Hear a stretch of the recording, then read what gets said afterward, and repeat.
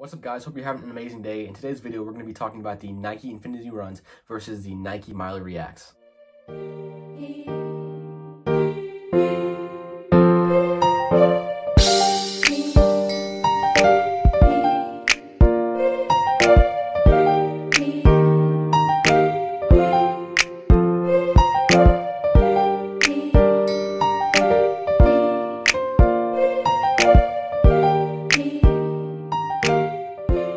If you guys have been following me for a while, you guys already know about the Nike Infinity Runs. I've had these shoes for a while, and I've had hundreds of miles on the other pair of shoes that I have that are the exact same kind, so I know a lot about these shoes. But today, I picked up these bad boys from Dick's Sporting Goods. They are the Nike Miler Reacts. I got a discount on them, which is pretty awesome. But today, I want to bring you guys a comparison video between these two shoes. Now, it's not going to be like a running comparison video because I have not ran in these shoes yet. I just wore them around and felt how comfortable they are. So it's not going to be like a super biased running shoe video because I haven't ran in these shoes, so it wouldn't be fair to do a running review about these two shoes. I'm just going to be comparing comparing the physical qualities about these shoes and how they feel walking and stuff like that. So to start off, these shoes are 160 bucks, which is definitely on the higher end of running shoes, even though these shoes do last for a very long time. 160 bucks is a lot of money just for some training shoes. On the other hand, these Nike Miler Reacts were 130 bucks, but I actually got a 25% discount from the guy I know that works at Dick's, so these shoes were only $107, I believe. So yeah, these are normally 130 bucks, so that's definitely a lot more affordable than a $160 pair of shoes. Now, as you guys have probably guessed, they have the same exact foam, the Nike React foam. One of Nike's newer cushion technologies.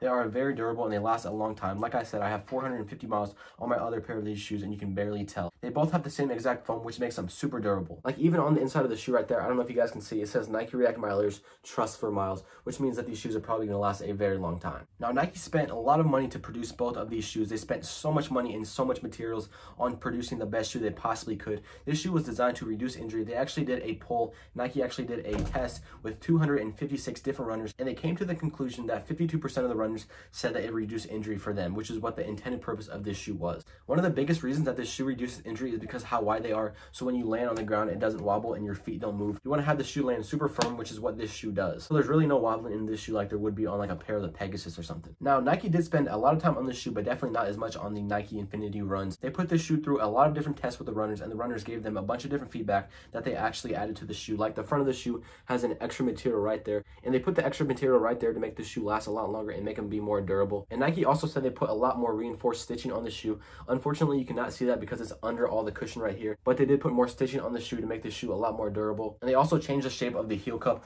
I know it's really hard for me to show you guys because it's pretty dark in here and you can't really see, but they did change the shape of the heel cup to make it more comfortable for the runners. And this little gray stripe back here does actually light up, so if a car is going by while you're running, the car will hopefully see you. As where the Nike Infinity runs do not have anything to light up on the back, which is a super important safety feature that I want on all my shoes. Unfortunately, the Nike Infinity Reacts do not have anything that makes it light up. And now we're going to talk about which shoe is more comfortable. I definitely have to go with the Nike Infinity runs. They are a super comfortable shoe, and I'm not just talking about running, I'm talking about walking also, and just all around more comfortable shoe shoe. The arch in the shoe is almost perfect for me, along with the super, super stretchy material up top and the super stretchy material everywhere. It has a super good Flyknit material, and it really just wraps around your foot when you put the shoe on.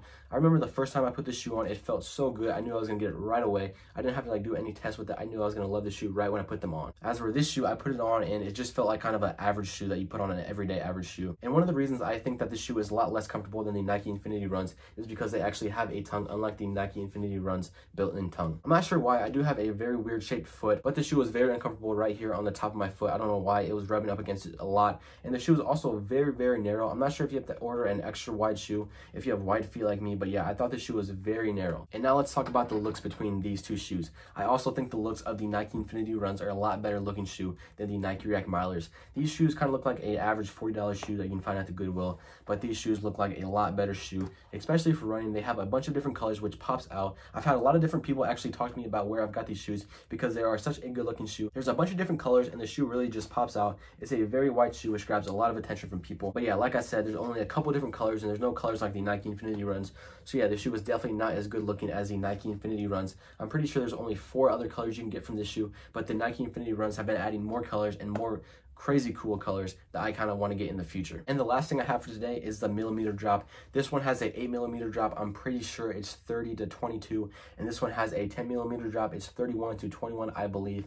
But yeah, this one has a 10 millimeter drop, just like all the Nike Pegasus shoes that have came out. But this one has a little bit lower of a drop. Not really sure why. I'm pretty sure because it's so thick in the back that they really couldn't take that much off the front. If you guys know why, you can comment that down below. But there's probably no really big reason that they did that, other than it was more comfortable for their runners. That's going to be pretty much it for the video. I haven't actually ran in these shoes yet. I'm planning on running in them tomorrow, so I will get a better feel and we'll be able to do a better review for these shoes. I'm actually planning to do a review of these shoes pretty quick, so make sure you stay tuned for that. I'm also going to be comparing these shoes to the Pegasus 37s, and then I'm going to do a video of me comparing these shoes to the Pegasus 37s and the Nike Infinity Runs. It's going to be a three shoe video, so make sure you stay tuned for that. I will see you guys next time. Stay safe and stay blessed. I got a lot of cool content coming to this channel, not just running content, but how to make money as a teen and other cool stuff like that. So stay tuned and stay blessed. See you guys next time.